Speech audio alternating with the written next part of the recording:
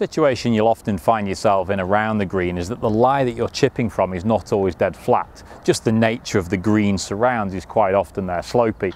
And we can see a situation here where I'm a lot lower than the camera, my ball is way above me. You imagine your ball has rolled to the back of the green and it's rolled onto this upslope. And if I drop a ball here, you might see that, there you go, there's the downslope. So playing a ball from this lie is often quite tricky and it could change the way the ball comes out.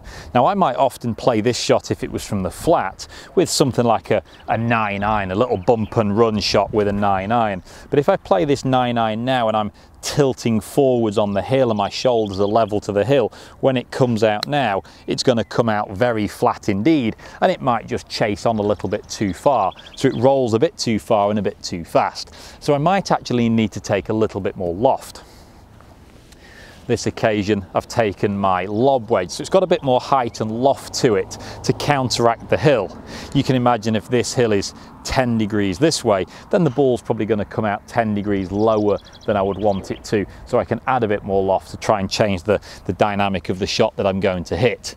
So it's important that when you make your setup here, that you tilt your shoulders, your spine angle perpendicular with the hill, and you try and chase down the hill. You don't really want to get caught on your back leg trying to scoop the ball up into the air, which might instinctively feel the right thing to do to try and help it up.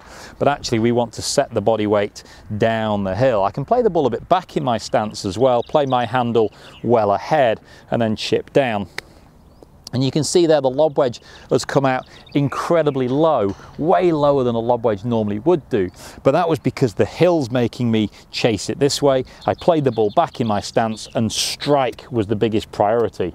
Get a good strike on it, that's nudged it forward and I can hold the putt, excuse me, I can hold the putt from there hopefully which allows me to get away with this idea that I landed the ball on the green, rolled it up the hill, so frustratingly I've missed the green, but if I can chip back down close and hole the putt, I can still make my par, rather than the first shot where I had my 9-9, which is my normal chipping shot, has rolled off the back of the green too far, tough two putt from there, and that would result in a bogey. So using a bit more loft when you're chipping off a downslope might save a few more pars on your scorecard.